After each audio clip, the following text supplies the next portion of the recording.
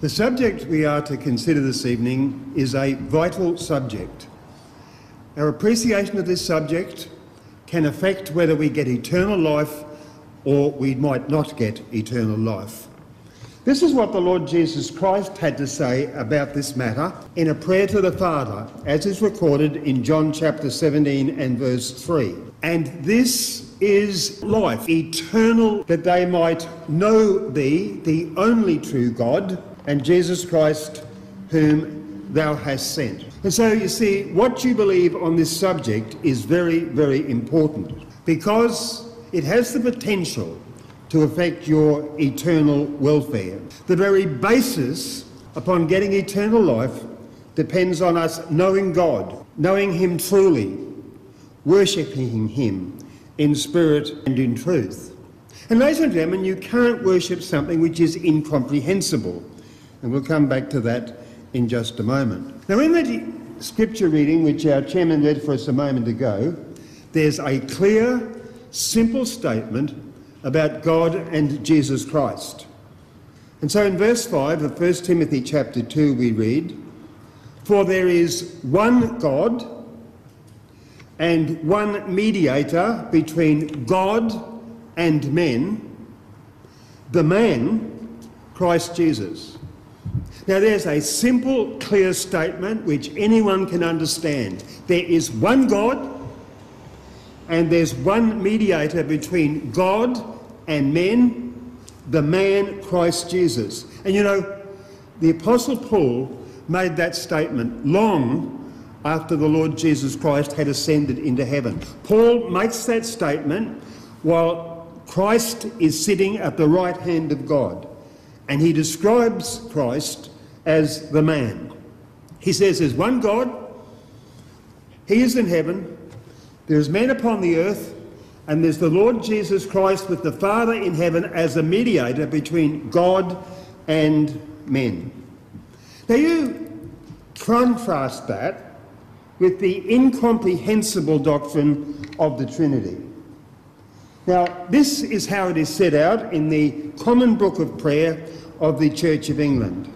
And as we go through this, just see if you can comprehend these words, understand what they are saying. This is how, as I say, it is set out in the Common Book of Prayer of the Church of England. So the Father is God, the Son is God, and the Holy Ghost is God, and yet they're not three gods but one God. So likewise, the Father is Lord, the Son Lord, and the Holy Ghost Lord, and yet not three Lords but one Lord. For like as we are compelled by the Christian verity to acknowledge every person by himself to be both God and Lord, so we are forbidden by the Catholic religion to say there be three gods or three lords. So the Bible is clear. There's one God, there's one Lord Jesus Christ, his Son, but the Common Book of Prayer says we are compelled by the Christian verity to acknowledge every person by himself to be both God and Lord, and yet we are forbidden by the Catholic religion to say there are three gods or three lords. So as we saw from 1 Timothy chapter 2 and at verse 5, there is one God, there's one mediator between God and men, the man Christ Jesus. Compare that with that incomprehensible statement as set out in the Church of England Common Book of Prayer. There's no doubt about the fact that the Trinity is an incomprehensible doctrine. So, in the first part of our lecture this evening, we will see that, and we're going to deal with the incomprehensibleness of the doctrine.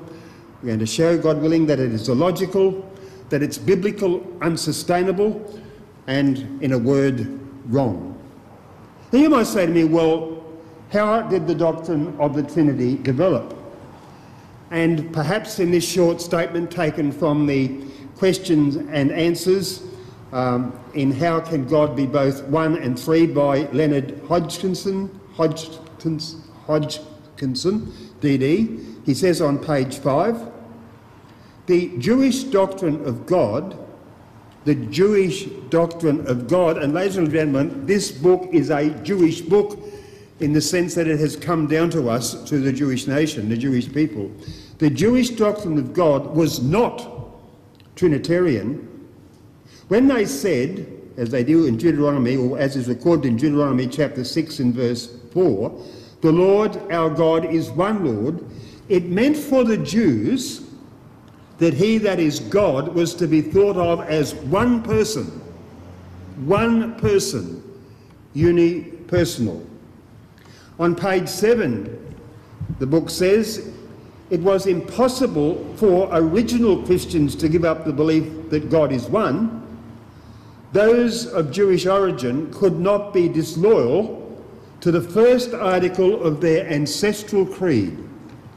And as the, as the church moved out into the Gentile world and began to examine its thought in the light of Greek philosophy, it found that for thinking men, only monotheism, God is one, is rationally credible. Yet God, they say, had made himself known as three. What were they to do? They tried various experiments, says this book. They tried thinking of God as a single person who appeared in different forms. As one man might be, for example, a soldier, a statesman, a poet. This, which is called modalism, was rejected as not taking sufficient account of the gospel evidence of personal relations between father and son. They tried keeping the unity by thinking of the Father alone as God in his own right, and the Son and Spirit as divine in a secondary sense. This subordination was also rejected as disallowing the worship that they felt bound to address to both the Son and Spirit. Their condition was one which recurs over and over again in the history of human knowledge, when the evidence of newly discovered facts will not fit into the existing forms of thought. For the time being, says this article, for the time being, says this article, which supports the Trinity, the best that can be done is to adopt an attitude of suspended judgment, even though this involved the assertion of apparent contradictions. This is what was done in the passage quoted from the document originally attributed to St. Uh, Athanasius. And that, of course, is what I quoted to you a moment ago from the Church of England Common Book of Prayer. The best that can be done, okay, is to adopt an attitude of suspended judgment. Now, you compare that with what the Lord Jesus Christ said. This is eternal life to know the only true God, and Jesus Christ, whom he has sent. So, in summary, thus far, what we have find, found is this. The admitted facts by Trinitarian apologists, that is, people who argue in favour of the Trinity, is that the doctrine of the Trinity is incomprehensible. It cannot be rationally explained. Secondly, for 4,000 years before about AD 350, faithful worshippers knew nothing about the Trinity. They were monotheists, believing in one God. The third point, New Testament believers knew nothing about it. The fourth point, suspended judgment is required concerning it. All right, well, that's what the world says. That's what people who believe in Trinity say. What does the Bible say? Because that is what concerns us. What does the Bible say? And the Bible, ladies and gentlemen, is very, very clear. There is only one God.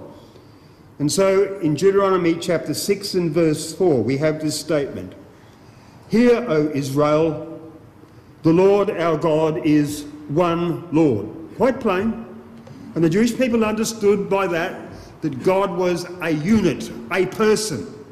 Not three persons in one, but a person. The Lord our God is one Lord.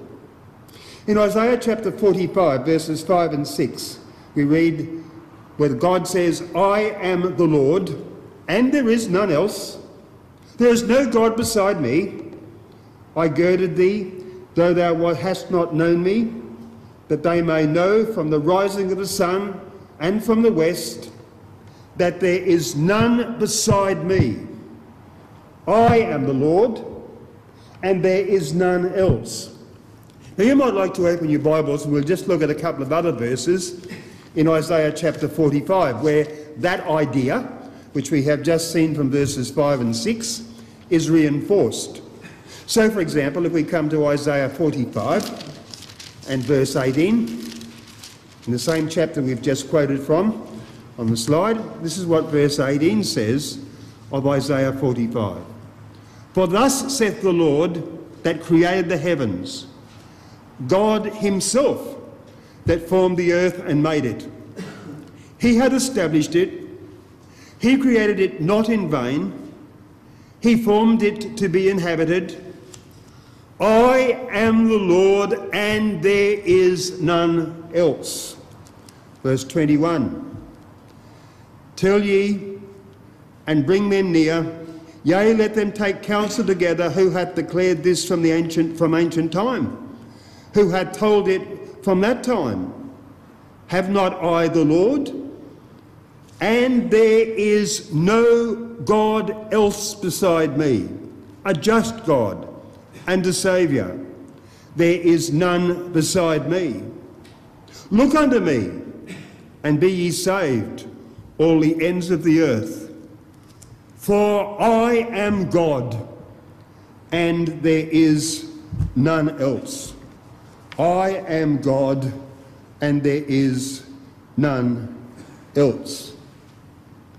So, when we come to the New Testament, to Mark chapter 12, and between verses 29 and 34. And Jesus answered him, and the him was a scribe, and Jesus answered him, The first of all the commandments is, Hear, O Israel, the Lord our God is one Lord. And the scribe said unto him, Well, Master, thou hast said the truth, for there is one God, and there is none other beside he, and when Jesus saw that he answered discreetly, he said unto him, Thou art not far from the kingdom of God. And no man after that durst ask him any questions. So the Lord said to this scribe, Yes, you have answered correctly.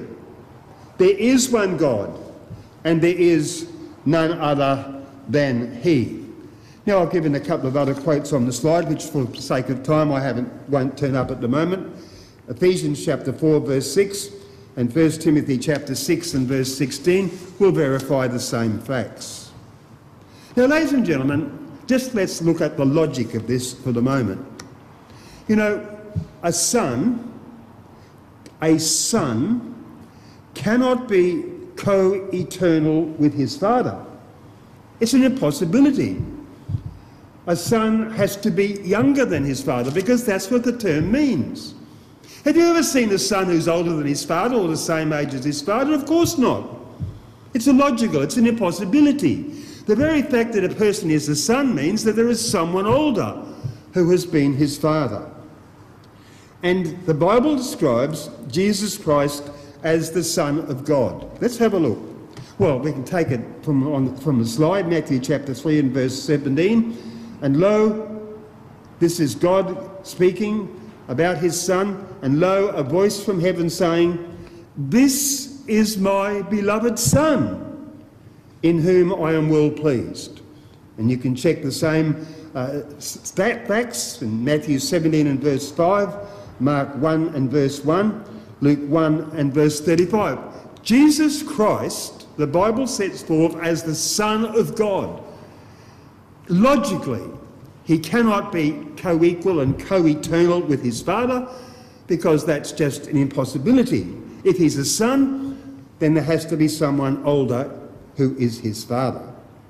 And you know, even after the Lord Jesus Christ ascended into heaven, the Bible still describes Jesus Christ as having a father. And so in 2 Corinthians chapter 1 and verse 3 we read, Blessed be God even the Father of our Lord Jesus Christ, the Father of mercies, the God of all comfort. Now, when the Apostle Paul wrote to the Corinthians, the Lord Jesus Christ had long ascended into heaven. And yet, the Apostle Paul, in writing to the Corinthians, says, Blessed be God, even the Father of our Lord Jesus Christ. So you see, there is the Father, God Himself. And then He has a Son, Jesus Christ, which, as we've already seen in the New Testament, even after Christ has ascended into heaven, is still described as a man. All right? So the other thing is this a person, we've just seen, haven't we, that if a person has a father, it's impossible for the son to be the same age as the father or to be co equal with the father or co eternal with the father. But in the, in the same manner, in the, in, the same, uh, in the same uh, line of thinking, a person who has a God cannot be co equal with his God. Now, you think about it in terms of your own life. You wanted to pray to someone, do you want to pray to someone who's got the same power and the same intellect and the same capacity as you? When you use the word God, isn't it a fact that that implies that you are praying or addressing someone who is far greater than you? Greater capacity, and so a person who has a God cannot be co equal with his God. He can't be the same age, he can't have the same capacity, the same power, the same intellect. And so the word God implies superiority. If you're going to pray to a God, you're praying to someone who is superior to you. And yet, when the Lord Jesus Christ ascended to heaven and the apostles wrote the epistles, they said that Jesus Christ still has a God.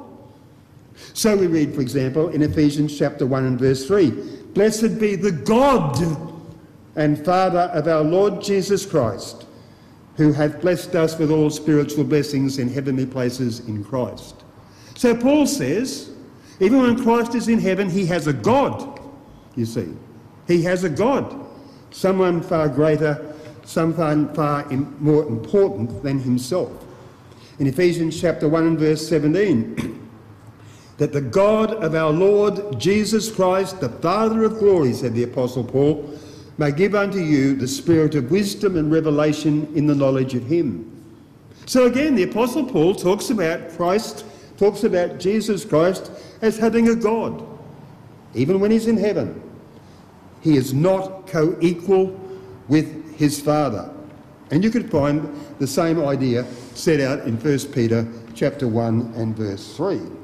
Let us now come and consider the facts concerning Jesus Christ. And the first fact we want to consider is that Jesus Christ is a man, and that is how he is described in the New Testament. So in Acts 2, chapter 2 and verse 32 we read, Ye men of Israel, hear these words Jesus of Nazareth, a man, approved of God among you by miracles and wonders and signs, which God did by him in the midst of you, as ye yourselves know. In the verse which we've already looked at this evening, 1 Timothy chapter 2 and verse 5, for there is one God and one mediator between God and men, the man, Christ Jesus. So you see, whether Jesus Christ is on earth or whether he is in heaven, he is still described as the man or a man. 1 Corinthians chapter 15 and verse 21. For since by man came death, by man came also the resurrection of the dead. The fact that we are able, under certain conditions, to be resurrected, that fact, that belief, that understanding of things came through the work of Jesus Christ. For since by man, that is by Adam, came death, by man, that is by Jesus Christ, came also the resurrection of the dead. This is how the Bible describes our Lord Jesus Christ. Perhaps you might turn with me to Romans chapter 5 and verse 15, and we'll just take another verse in the same vein as the ones we've already looked at. Romans chapter 5 and verse 15. But not as the offence, so also is the free gift. For if through the offence of one, that is, the offence of Adam, many be dead, much more the grace of God and the gift by grace, which is by one man, that is, by Jesus Christ, hath abounded unto many. So you see, Adam is described as a man, and in that verse, Jesus Christ is also described as a man. When we come to the Bible, we find when it talks about the conception of the Lord Jesus Christ, it talks about his birth, and then it talks about his developing as he grew in age. And so the Bible tells us that Jesus Christ grew in wisdom and learned obedience. Ladies and gentlemen, is that idea compatible with Jesus Christ being part of a Trinity? With Jesus Christ being God in the sense that the Father in heaven is God? Not at all. So in Luke chapter 2 and verse 52 we read, And Jesus increased in wisdom and stature and in favour with God and man. In Hebrews chapter 5 and verse 8, though he were a son, and this is speaking of the Lord Jesus Christ, though he were a son, yet learned he obedience by the things which he suffered. Is it appropriate to describe a person who is, according to the churches, most churches, most so-called Christian churches, is it, is it appropriate to describe a person of the Trinity as they believe it? Is it appropriate to think that he learned obedience? He learned obedience by the things that he suffered? No, of course it's not. The Lord Jesus Christ was a man. He was born of the Virgin Mary. He, as he developed in his life, he increased in wisdom and in favour with God and man, and he learned obedience by the things which he experienced in life. And so the Bible is insistent that Jesus Christ was made like his brethren. In other words, he was born of Mary, he was a person of flesh and blood. So in Galatians chapter 4 and verse 4 we read that when the fullness of time was come, God sent forth his Son, made of a woman, made under the law. In other words, the Lord Jesus Christ was a man, he was a human, he was a person of flesh and blood, as you and I are people of flesh and blood, although, of course, the Lord Jesus Christ had a greater capacity than you and I have because of his miraculous conception. In Hebrews chapter 2 and verse 14 we read, For as much then as the children, that's ourselves, are partakers of flesh and blood, he also himself likewise took part of the same.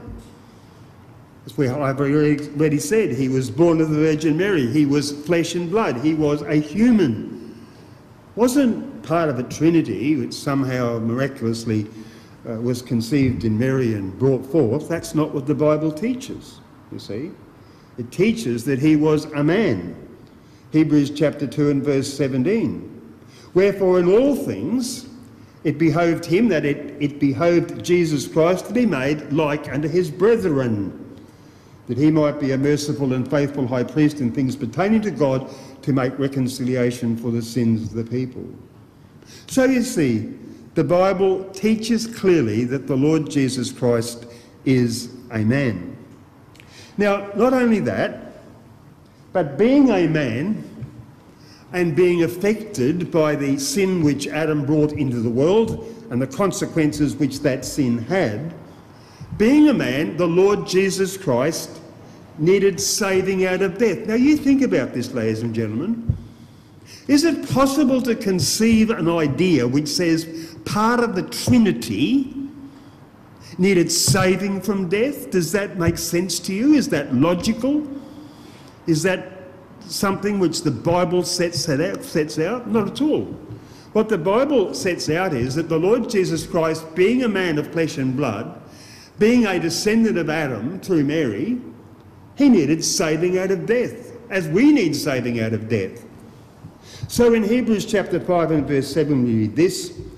Speaking of Christ, it says, Who in the days of his flesh, when he had offered up prayers and supplications with strong crying and tears unto him, that is, unto God, who was able to save him from death. God was able to save him from death, and Christ prayed that he might be saved out of death. And Paul says, as he writes, writes to the Hebrews, that Christ was heard in that he feared, in that he feared. God heard him. God saved him out of death. Does that line up with the ideas which we have seen set forth that Jesus Christ, false ideas that Jesus Christ was part of a Trinity? Now in Hebrews chapter 9 and verse 12 we read, Neither by the blood of goats and calves, but by his own blood he entered once into the holy place, having obtained eternal redemption. Now I know that the authorised version has the end of that verse for us. But the construction of the Greek is a construction which means that what happened here was that what Christ did, he did for himself. And so most or many versions omit the words for us because they are inappropriate. They are against the Greek text, the meaning of the Greek text. And so what that verse teaches is the Lord Jesus Christ obtained redemption. He obtained redemption through his own sacrifice. Is that your concept or the church's concept of the Trinity? It's impossible, isn't it? See, the Bible doesn't teach that Jesus Christ is God the Son doesn't teach that at all. It teaches that Jesus Christ was a man, a very special man, most certainly. All right? A very certain man, a, a very special man. And it teaches that Jesus Christ, being a descendant of Adam, as we are descendants of Adam, needed saving out of death once he had died. Another point is this that Jesus Christ wherever you look in the Bible, is always subordinate to God, his Father. God was both God and the Father of the Lord Jesus Christ. And wherever you go, you'll find the Bible teaches that Christ is subordinate to God and his Father. While on earth, we read in Mark chapter 13 and verse 32 But of that day and hour knoweth no man, no, not the angels which are in heaven, neither the Son but the Father. And so we're talking about a time when Christ was going to return. And Christ says, Well, I don't know when it is. I don't know when it, I don't know when it is. He says Of that day and hour knoweth no man. No, the angels don't know. They were in heaven, they don't know. I'm the Son, but I don't know. The only person that knows, said the Lord Jesus Christ, is the Father. And after he had ascended into heaven, he still didn't know all things. So, in the very opening verse of the book of Revelation, the last book in the Bible, we read the revelation of Jesus Christ, which God gave to him. Now, ladies and gentlemen, does that sound like Christ was part of a Trinity? That he knew as much as God? That he was equal with God? Not at all. He didn't have the same knowledge as God. And so God had to tell him certain things. The revelation of Jesus Christ, which God gave to him to show unto his servants things which must shortly come to pass. So we find that while Christ was on earth, he was subordinate to God. We find after he had ascended into heaven, not only is he described as a man still, but he was clearly subordinate to God and his Father. And in the future, when he returns and he establishes God's kingdom upon the earth, which is the glorious gospel message of the Bible, we read in 1 Corinthians chapter 15, verses 24 to 28, which is speaking about the situation which will prevail at the end of the 1,000 year reign of Christ upon the earth. That's what Paul is talking about here in 1 Corinthians 15. The Bible teaching is that Christ will return from heaven to earth, establish God's kingdom, rule over the earth for a thousand years, and then at the end of the thousand years, God, uh, Christ rather, will hand over the kingdom to God, having accomplished the Father's purpose on the earth during the period of the kingdom.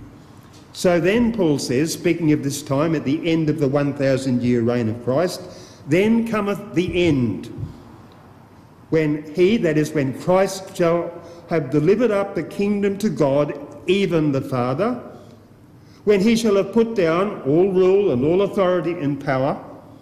For he, for Christ must reign till he hath put all enemies under his feet. The last enemy that shall be destroyed is death.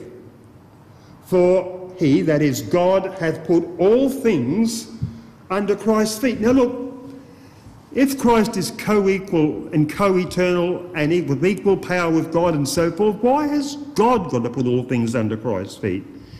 You see, this idea of the Trinity is totally unscriptural and totally illogical. But anyway, Paul says, For he, God, hath put all things under Christ's feet. But when he saith all things are put under him, it is manifest that God is excepted, which did put all things under him. In other words, when God puts all things under Christ, he didn't put himself under Christ's feet. That's what the Apostle Paul is saying.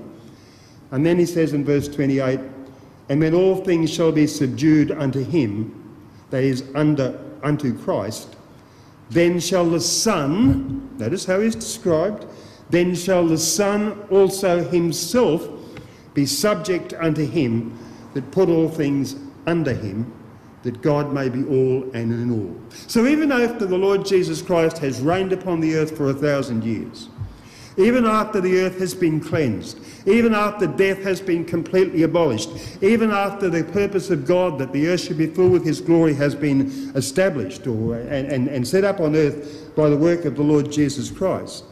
Nevertheless, Christ is still subject to God. He's subject to the God that put all things under his feet.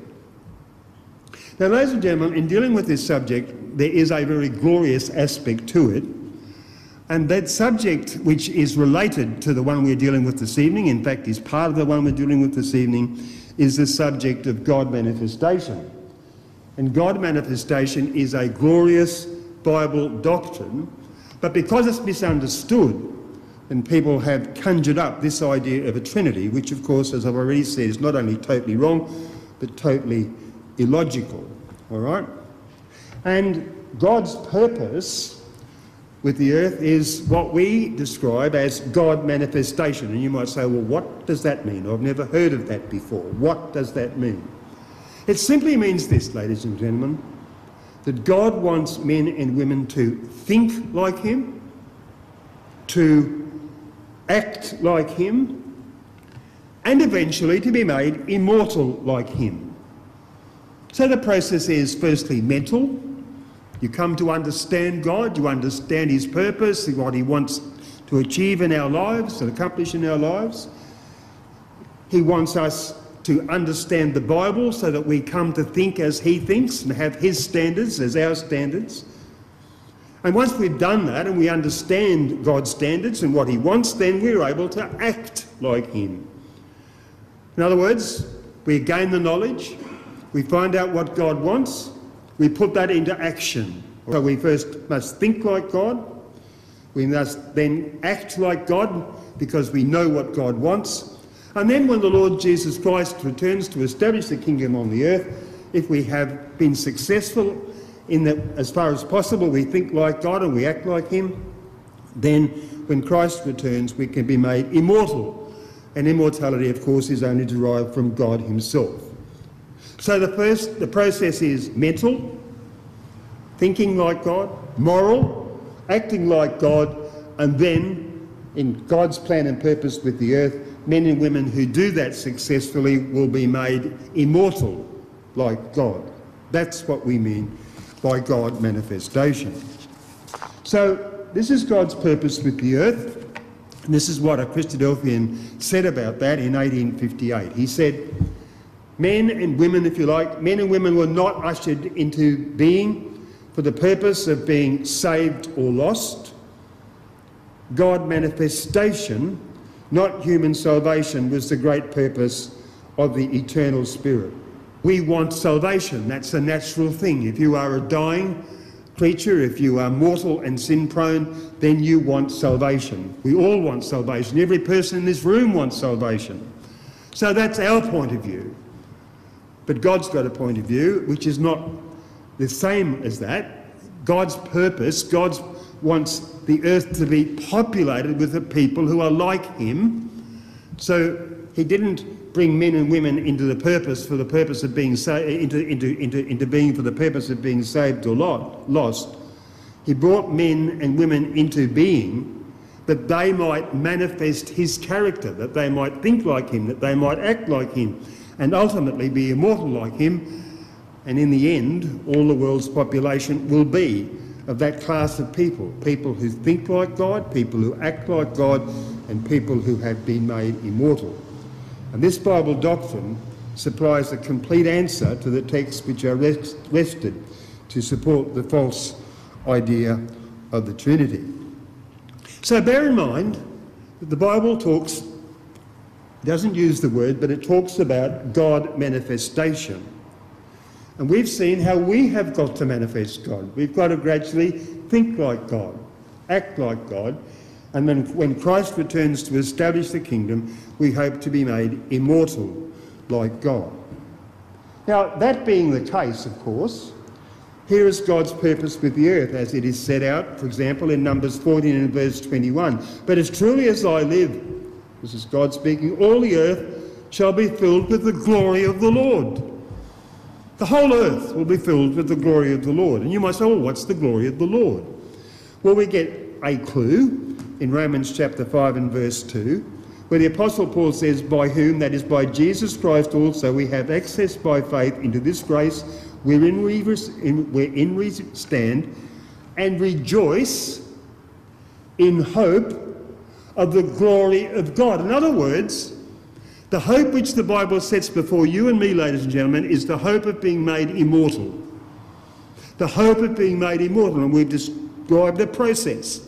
Think like God, act like God, and ultimately be made immortal like God. That is God's glory. And in the end, all the world's population will manifest the glory of God because they will think like God, act like God, and be immortal like God. So what this means is that God's purpose that the earth will be populated with people, as I say, who think like him, act like him, and who are immortal like him.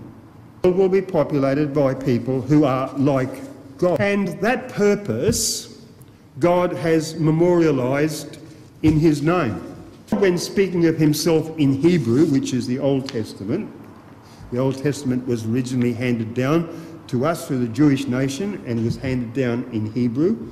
We read in Exodus chapter 3 and verse 14 where it says, Ehyeh, Asher, Ehyeh. And the meaning there is when God is speaking of himself, I will be who I will be. Now, we've spoken about God manifestation, we've spoken about God's purpose that men and women might think and act like God and be made immortal like God. And God, as He expresses it, he says, I will be who I will be. In other words, God is going to manifest Himself in people so that they do exactly that. They think like God, they act like God, they're immortal like God. I will be who I will be. In other words, when a person does that, when they've been made immortal, and that someone looks upon them, they will see God's character revealed.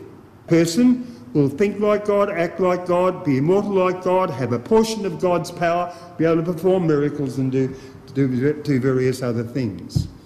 And so, I will be who I will be expresses God's purpose of developing in others his character and giving them his immortal nature. That's God speaking. I will be who I will be. But when that's memorialised in a name and to be used by others when addressing God, we can't say, I will be who I will be, can we, when we're addressing God? So the I has to become He. He will be, be who He will be.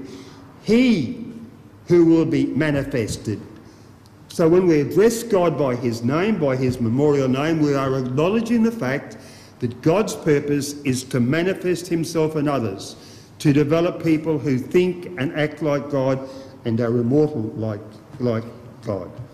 So, when memorialized in a name to be used by others when addressing God, the I will, I will be becomes He will be, and Ehyeh becomes uh, uh, Ehyeh becomes Yahweh. Yahweh is the God who will manifest Himself in others. Now, you see, once you get that concept, ladies and gentlemen, then if you find other people being described as God, you're not going to jump to the conclusion that they're part of the Trinity. That's the importance of this subject. That's the importance of this doctrine. God's purpose is He wants people to be like Him. He wants people to manifest His values, His character. He wants eventually them to be immortal like Him. And once you understand that, then because a person is described as God doesn't mean he's God himself, it doesn't mean he's part of the Trinity, it simply means he is a person who is manifesting God's character. That's what it means manifesting God's power. So Jesus Christ was a manifestation of God, but he wasn't part of the Trinity. Any more that you and I can be part of the Trinity, but God wants us to manifest his character. Concerning Jesus Christ, we read in John chapter 5 and verse 19 Then answered Jesus and said unto them, Verily, verily, I say unto you, the Son can do nothing of himself, but what he seeth the Father do, for what things soever he doeth, these also the Son doeth likewise. So that the Lord says, Look, what I do, I know what my Father does, I know how he acts, I know how he thinks, so I follow him. I do what he would do in the circumstances uh, in which I find myself. John, yes, John chapter 14 and verse 9. Jesus said unto him, Have I been so long with you? Uh, uh, and yet hast thou not known me, Philip? He was able to say, He, to Philip, he that hath seen me, Philip, hath seen the Father. And how sayest thou, Show us the Father? So you see what the Lord was saying? He wasn't saying I'm part of the Trinity. He was saying that in my life I have come to think like God. I have come to act like God. And after his resurrection, of course, he was made immortal like God. But because he reflected the Father's values in his life, because he thought like the Father, because he acted as the Father would act in the circumstances in which he found himself, he's able to say to Philip, Philip, he that has seen me has seen the Father, because I'm simply reflecting in my life a manifestation of the Father. I'm reflecting his values. And so he's able to say, in John chapter 10 and verse 30. I and my Father are one. Not one as part of the Trinity, one in outlook, one in purpose. That is the idea. Not, not the Lord was not saying, well, I'm part of a Trinity, I'm part of one in that sense. That's not what he was saying. He is saying in outlook, in purpose, in, in thought, in, and so forth, I and my Father think exactly the same. Now, in the Bible, and not only in the Bible, but you find this in the world as well, there is the principle of agency. And that principle is that that, that one does by another, he does himself. That which one does by another, he does himself. And so what you find is that God has authorised and empowered others to act for him and to act in his name. Now let's take a, a, a little practical example of this from everyday life. Suppose you want to pay your electricity bill or you've got a problem with your power supply or whatever, and, and, you ring up this, dial this number and someone says electricity board or whatever they say, Alinta or whatever it is, I don't know what it is, but you know, Synergy or whatever it happens to be. They're not Synergy. They're simply the representative of Synergy, the principle of agency. And as I say, God has authorised and empowered others to act for him in his name in exactly the same way as I have just explained about the electricity board. So we read in Exodus 23, verses 20 to 23. Behold, says God, I send an angel before thee to keep thee in the way and to bring thee into the place which I have prepared. Beware of him and obey his voice Provoke him not, for he will not pardon your transgressions, for my name is in him. This angel was going to act in the name of God with God's power and God's authority. God's authority. But if thou shalt indeed obey his voice and do the, all that I speak, then I will be an enemy unto thine enemies and an adversary unto thine adversaries. So here was an angel, a special angel, which God was going to place his name, and this angel had been given certain authority to act on God's behalf in certain matters. In the later verse, verse 23, For mine angel shall go before thee and bring thee in unto the Amorites and the Hittites and the Perizzites and the Canaanites, the Hivites and the Jebusites, and says God, I will cut them off. How did he cut them off? Well, he cut them off by this angel and the influence which the angel had in this particular circumstances. But God was acting on the principle of agency. He was an angel which, upon which he had conferred certain powers and certain authorities. And so, immortal angels are another manifestation of God. Jesus Christ was a manifestation of God and that he thought like God and he acted like God while he was upon the earth. Here we've got immortal angels acting like God and for God and in God's name. They bear God's name, these immortal angels, and act for God with his authority and with his power. So others besides God are called God. And as we saw, the Lord Jesus Christ is called God on this very principle, very principle that the Lord Jesus Christ manifested God, and that he acted and thought like God, and so that people who looked on the Lord Jesus Christ, so far as thinking and morality was concerned, saw God. And so in John chapter 20 and verse 28, we read, And Thomas answered and said unto him, My Lord and my God. And angels are actually called God. In Genesis 32, verses 24 to 25 and verse 30, we read, And Jacob was left alone, and there wrestled a man with him until the breaking of day. And when he saw that he prevailed not against him, he touched the hollow of his thigh that is, the angel touched the hollow of Jacob's thigh, and the hollow of Jacob's thigh was out of joint as he wrestled with him. And Jacob called the name of the place Peniel, for I have seen God face to face, and my life is preserved. Now, when you look at that uh, incident as it's recorded, for example, or referred to in Hosea chapter 12 and verse 4, Hosea says, that Jacob wrestled with an angel. But Jacob says, I've seen God face to face. And Jacob can say that because this angel represented God. Wasn't God himself? Wasn't some part of a trinity or anything like that. The angel simply acted with God's authority and God's power. And so we're told in Genesis that uh, Jacob wrestled with a man and Jacob himself says, I have seen God face to face. And then Hosea says, Well, yes, but it was an angel. Because this is the idea of God manifestation people acting in God's name with God's authority and God's power. So that is the point. So others besides God are called God. Mortal men are called God. Now, I'm not going to go through this because time is going faster than I am with, than I am with this talk. But in, Judge, in Exodus, rather, chapter 22, verses 8 and 10, what you'll find is that the judges which were set up in Israel and who acted for God in certain matters, and they were, these were mortal men, are actually called Elohim. They're actually called gods. Now, they simply represented God. They acted in, uh, with, in, in, his name in, in certain matters, all right? So there again, you get an, an, and, uh, you, you, get an, an illustration of God manifestation. Now, in Psalm 82 and verse 6, you have an example of this. I have said, Ye are gods, that is Elohim, and all of you children of the Most High. And the Lord Jesus Christ used this against people in his day who were opposed to him.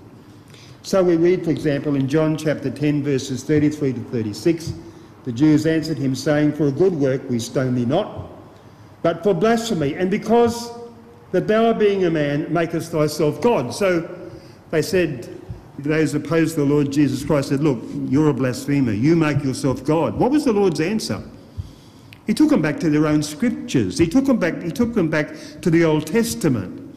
He took them back to those scriptures where mortal men are described in the inspired Bible as being God because they acted for God, because they acted with God's authority and so forth. So we read, Jesus answered them, those that have falsely accused him. Jesus answered them. He said, uh, Is it not written in your law?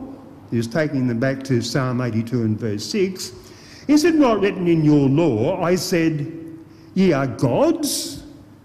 Then the Lord said, If God called them gods unto whom the word of God came, and the scripture, he said, can't be broken. He said to the Jews, You can't expunge this from your scripture. You can't tear out this verse. That's what the Lord was saying. He's saying, Look at your own scripture. Look at your own scripture. And you'll find that the God of heaven describes people who act for him in certain circumstances. He describes them as God. Jesus answered them, Is it not written in your law, I said ye are gods? Quoting Psalm 82 and verse 6. If God in heaven called them gods under whom the word of God came, the Lord said, and the scripture can't be broken, say ye of him, say ye of me, that I blaspheme? say ye of him whom the Father hath sanctified and set into the world, thou blasphemest, because I said, I am the Son of God? You see? So there was the Lord's answer. The Lord's answer was you go to the Old Testament and you'll find mortal men actually called God. And the Lord said, All I have said is that I'm the Son of God. All right? So that's what the Lord said. Now, ladies and gentlemen, the glorious message of the Bible is this You, you can be made equal unto the angels and manifest God in the kingdom of God. Now, as I've already pointed out, this is a process which must start now. We must think like God, we must do our best to act like God, and if when Christ returns to establish God's kingdom upon the earth we are found to have faithfully done that, then we will be made equal unto the angels. We'll be made immortal. And then we'll not only then think like God, act like God, we'll be immortal like God. And so in Luke 20 in verses 35 and 36, the Lord says this. But they which shall be accounted worthy to obtain that world, that is the kingdom of God, and the resurrection from the dead, in the kingdom they neither marry, when they're immortal, they neither marry nor are given in marriage. Neither can they die any more, you see, they're immortal. Neither can they die any more, for they are equal unto the angels and are the children of God, being the children of the resurrection. And then in Acts chapter 15 and verse 14, Simeon Peter hath declared how God at the first did visit the Gentiles to take out of them a people for his name. Ladies and gentlemen, in those words there is a marvellous hope for you and me, all right? Because God, the Jewish people having crucified their Messiah, God sent the apostles unto the Gentiles that they might call out of the Gentiles a people for God's name. And of course, if a person bears God's name, then they will think like God, they will act like God, and ultimately be immortal like God. And so when the gospel message goes forth, when we preach from this platform the good news concerning the coming kingdom of God, what we are doing, ladies and gentlemen, is we are drawing attention to this marvellous doctrine, this, God, this doctrine of God manifestation, that God wants to take people, take people like you and me, and to get us to think like Him, to act like Him, and then when Christ comes to be made immortal like Him. And if we do that, then we will indeed be a people for God's name, and God's name will be called upon us. We will be invested with God's name as the Lord Jesus Christ comes and finds us worthy of a place in the kingdom.